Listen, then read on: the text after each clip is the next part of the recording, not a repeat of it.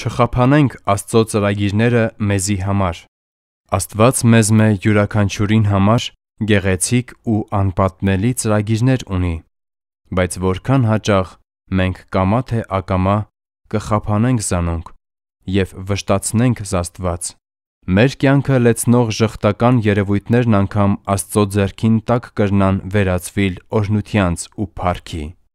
Բայց մարդկորեն ընդհանրապես մենք անկարող կլանք մեզ շրջապատող փորձությանց մեջ տեսնելու Աստծո մատը